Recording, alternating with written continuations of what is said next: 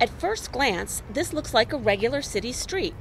But look a little closer, and you'll see this city is actually much less than meets the eye, at least in terms of its size. This project is our Washington University in St. Louis mini city that has a series of different attributes that you can mistake for a real city. It's pretty big. It's about 30 feet by 100 feet. The scale is 1 to 8 scale. For comparison, Barbie is about 1 to 6 to give you a sense of things that you might have interacted with. And that scale is important because the goal is to test autonomous vehicles in a realistic but safe way is, is typically the evaluation of autonomy of any kind has kind of two phases. One is in simulation, which is relatively easy, relatively low cost, but of course there's always a gap to what actually really happens. The other is, is actual physical scale.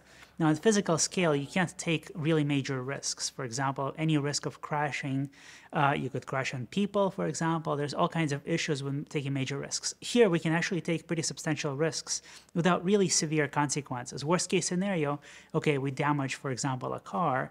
Uh, okay, not great, but not tragic, as opposed to, for example, a real car crashing into something.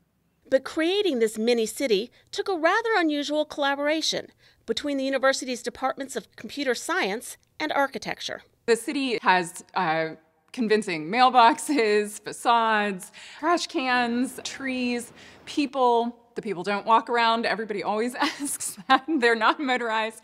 Um, but composing the city really was a question of like looking into okay what what do you encounter? How, how is a crosswalk going to be identifiable? Okay, we've got to paint a crosswalk that looks similar. Color matching, we would go out into the street and like color match our yellow paints from Home Depot to the actual paint on the street. Um, so there was a lot of reproduction of, of reality in this sort of way that you might think about a theater set uh, being built. As far as the actual testing on those roads go, they're still in the early phases of what's set to be a 10 year project one they hope will provide results that are helpful in the real world hoping to uh, get information to facilitate uh, research improvements and advances. For example, right now what we're doing is autonomous lane following. We're building a car to be able to follow lanes, stay kind of in the middle of the lanes uh, without much information except for pre predominantly visual information that it perceives as it drives. That's an extremely difficult task because typically in autonomy you have things like GPS, which gives you very precise lo location. Especially indoors, we don't have such precision in terms of location.